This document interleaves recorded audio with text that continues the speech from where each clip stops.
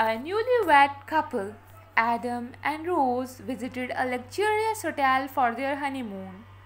They were very happy to visit the elegant hotel, but they found it very strange to see a priest at the hotel reception, preparing himself for some rituals.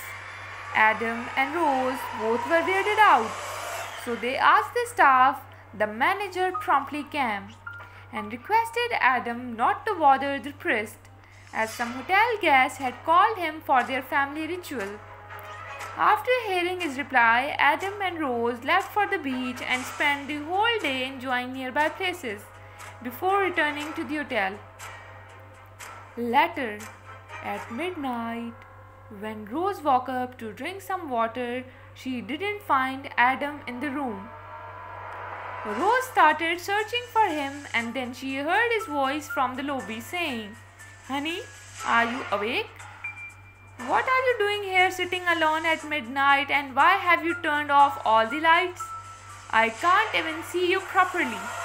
Surprised Rose asked. But Rose got shocked by Adam's reply. As he asked her if she will ever cheat on him. Why are you saying so? Angry Rose asked Adam and went to turn on the lights. But she got frightened when she turned on the lights and no one was present in the room.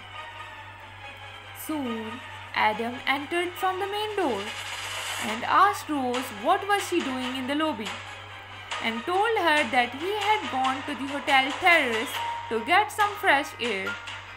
Watching Adam, Rose started crying and told him that she wanted them to leave the hotel as soon as possible so they left immediately.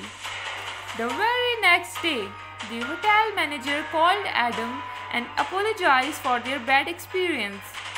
He told Adam that last month another newly wedded couple had visited their hotel, but the man killed himself when he found his wife cheating on him. And now he haunts every newlywed woman that visits the hotel.